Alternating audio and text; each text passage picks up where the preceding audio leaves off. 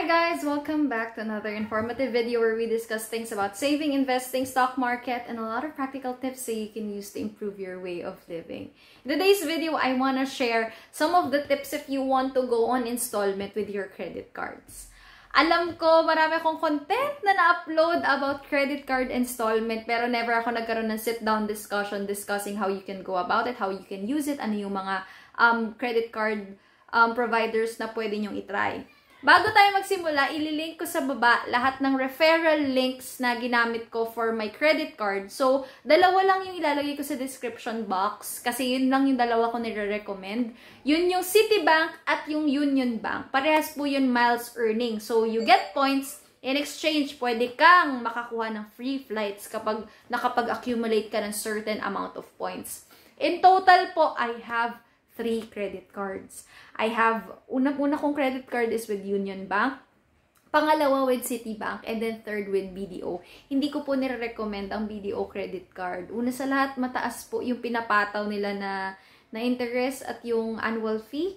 And at the same time, napakaliit ng credit limit. Sobrang, ewan ko ba, sobrang nadadamutan ako. But in the comment section of the video that I uploaded when I had my BDO credit card, parang ang sabi nila doon, yun daw talaga yung pinaka-starting na laging binibigay, which is 20,000, tas split pa yun ng dalawang cards na Shop More, tsaka yung Visa nila na tinatawag. Um, hindi ako happy sa kanya, so hindi ko i-recommend. Pero ang tanong, ikakat ko ba si BDO? Once po kasi na nag, nagkaroon ako ng credit card with that specific provider, hindi ko po kasi siya pinapakat. Hinahayaan ko na lang siya.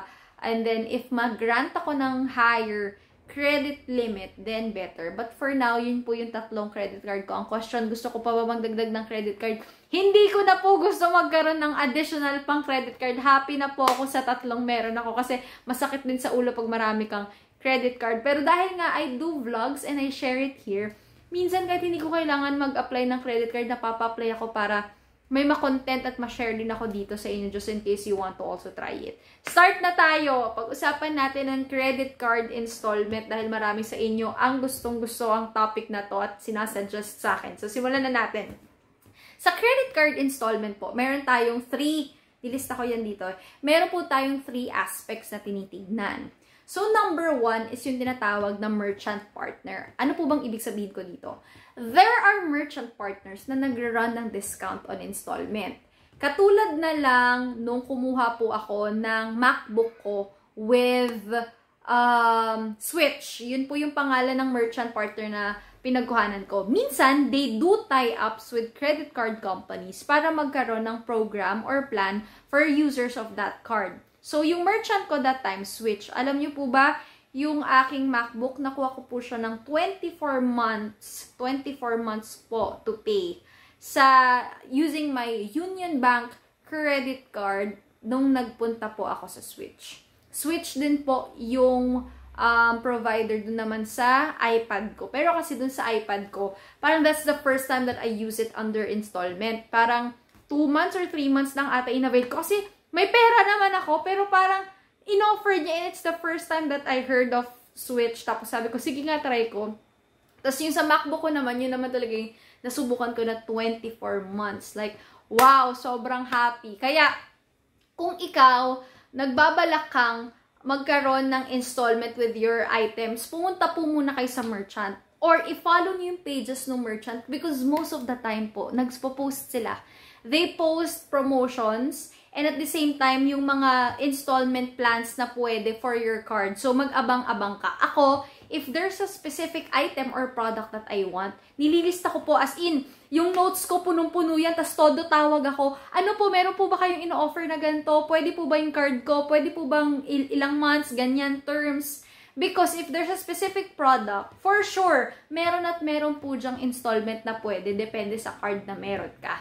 Sa akin nga lang, advice ko lang at napapansin ko, parang ang pinakamaganda at the moment would be Metro Bank, um, Union Bank, syempre, and then si Citibank. Yun yung pinakatatlo na laging matunog with merchants.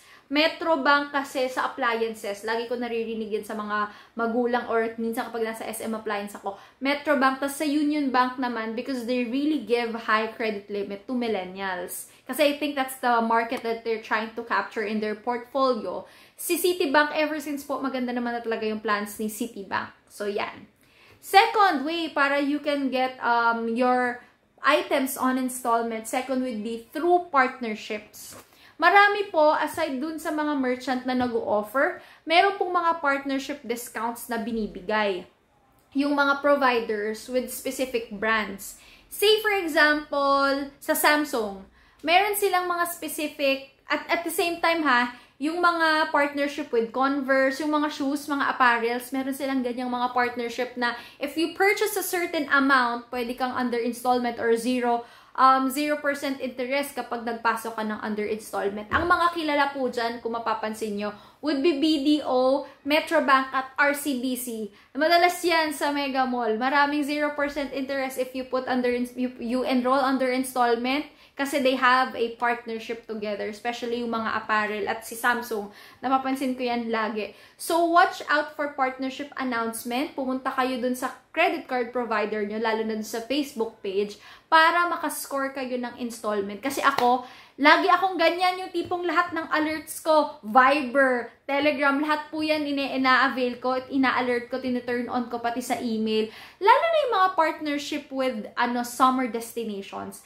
Ang pinaka sikat naman po dyan, East West tsaka Citibank. Pag naman sa mga travel destinations, I remember we are going to Baler. I'm going to Baler with my friends and we booked a private in a private resort sa may Costa Pacifica, east-west naman po yun. So, those partnership, if you get um, alerts, yun din, makakakuha ka rin doon ng installment. Kasi, ang dami nagsasabi sa akin, Ma'am, paano po mag-enroll na installment sa credit card? Well, it really depends on those three matters nga na pinag-usapan natin.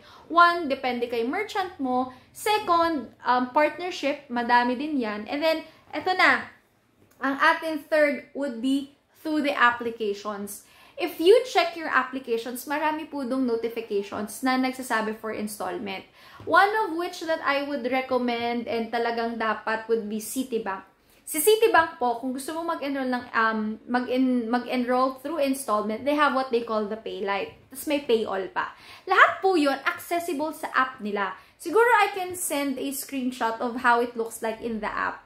Ang Citibank po, kilala po yan sa kahit sino na merchant na kapag sinabi mong installment, sasabihin po, sina, sasabihin po ng promoters nila, ma'am, check nyo na lang po yung Citibank app nyo, pwede po kayo doon mag-enroll. And even yung promoters nila, yung mga um, merchandisers, promoters, promodizers na nandun sa mismong um, location or stall, sila mismo naka-experience na mag-installment through the app So, marami pong mga applications naman na pwede nyo i-try. Pero based on experience, I would say na madali pong mag-installment with Citibank. Kasi i-click mo lang yon Sis, i-click mo lang. Tapos mag, uh, ano na yun, mag-alert na yun sa'yo under installment. Ganun kabilis kapag naman through applications. Now, yun na, yun yung tatlong ways if you wanna enter um, credit card installments Um, one is to the merchant. Maghanap ka kung may product or may merchant ka na binabantayan. Look for it. Second, through partnership. Kasi marami po ngayon na mga partnership with credit card providers para sa installment or yung tinatawag nga na monthly lang na recurring.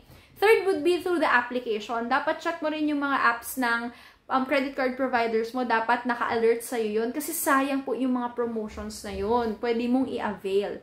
So, doon naman po sa magtatanong, magkano po ba yung down payment? Pwede ba akong mag-cash out pag may bagay akong gaga bibilhin? So, say for example, gusto mong bumili ng bagong iPhone. Sabihin na natin tong iPhone na to is, kunyari, 50,000. Example lang.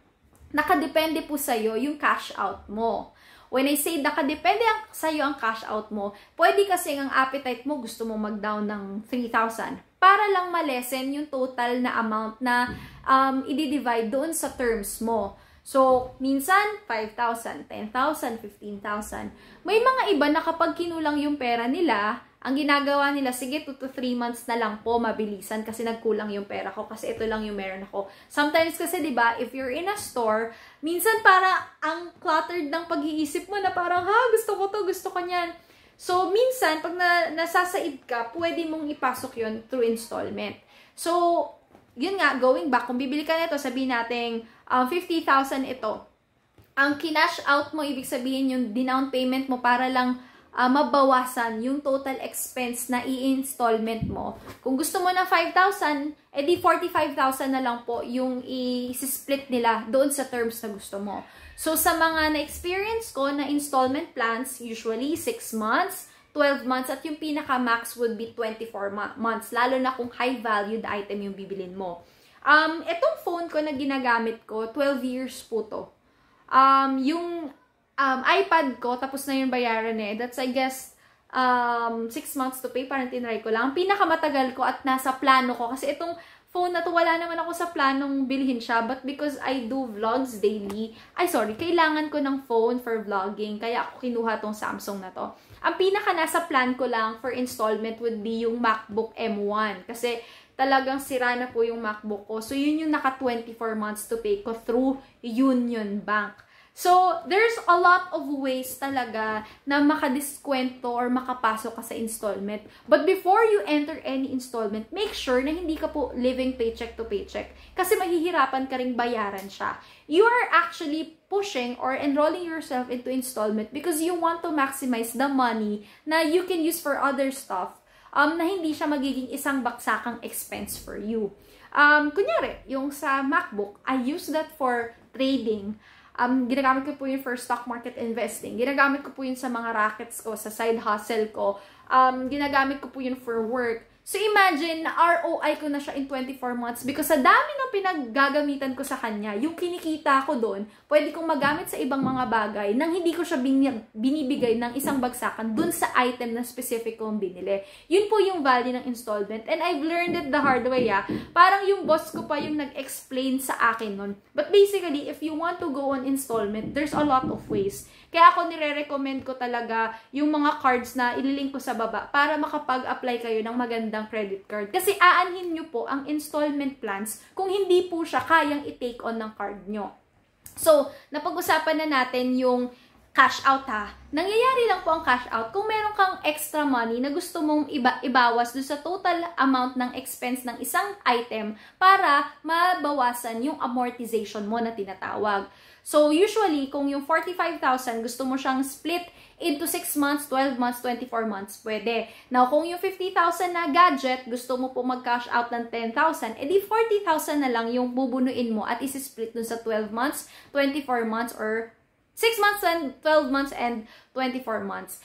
Nangyayari po kasi na nagkakaroon po ng interest kapag may mga late payment charges ka or hindi mo po nababayaran in full. Ganun naman po kumikita yung mga credit card company. So, kung ikaw wais ka sa pag sa pag-aayos ng spending mo, hindi yun mangyayari sa'yo. So, ang balikan ko lang din, yung dun sa sinasabi ko nga about um, dun sa sa credit card companies, aanhin nyo po yung mga promotions kung hindi po malaking credit limit nyo. That's why I highly, highly suggest Union Bank at Citibank kasi hindi po sila madamot sa pagbibigay ng malaking credit limit. Say for example, gusto nyo po ng MacBook. Ang ginastos ko po for my MacBook M1 ay kulang-kulang 70,000. So kung ikaw may 70,000 uh, may 70,000 na item, pero ang laman lang ng, ang limit lang ng card mo is 20,000. Kailangan mong mag, ano, kailangan mong bunin yung 50,000. So, you see, whenever you apply for credit cards, hindi lang po yun sa partnership na tinitingnan, hindi lang din po yun sa reputation. Kailangan po magkaroon ka, ka rin ng magandang credit limit. Kasi kung hindi po masyadong generous sa pagbibigay ng credit limit din yung mga credit card companies, baka hindi mo rin mabili yung item na gusto mo. Now, there would be people um, commenting about credit scores natatawa ako dyan ah. I work for a credit bureau. If you check my LinkedIn, I work for a credit bureau. And there's just three credit bureaus accredited here in the Philippines talking about credit scores. So kahit saan nyo po ako paligoy-ligoyan, yan po ang trabaho ko, yan po ang linya ko. Nasa linya po ako ng banking finance and I work for a credit bureau prior to working sa bank. Ang credit scores po, iba-iba siya. Nagva-vary siya. That's why I keep on saying it depends on the appetite of the credit card providers. At marami pong videos ng mga ibang content creators at ibang customers that can attest to that. So ako, uh, what I'm saying is that, of course, pay your duties and your uh, pay your duties tsaka yung mga credit card debts nyo on a monthly basis based dun sa inilabas nyo. Huwag kayong mabaon or mag mapunta sa credit card trap. At the same time, if you have um, credit card providers na bago nyo ina-applyan, make it to a point na updated po ang details nyo. Kasi kung old details nyo pa, baka malaging maliit talaga yung credit limit na ma-award sa inyo. So, napakasimple lang naman ng rules sa pera eh. Pag may inutang ka, babayaran mo para hindi siya mag-incurred ng interest. Para din hindi ka mabaon. Also, huwag kang kukuha ng item, huwag kang uhutang, huwag kang mag-under installment kung wala ka namang pagkukunan at alam mong marami ka pang gastusin kumuha lang po ng aayon sa plano or naaayon sa income na meron ka para hindi ka rin mabaon sa utang. So yun, I hope you guys enjoy the video and please, please don't forget to subscribe. Hashtag road to 10k subs. And please, kung gusto niyo na pa makita ako on other social media, please follow my Instagram account at Salas Rochelle. Yun lang. Thank you for watching. Bye!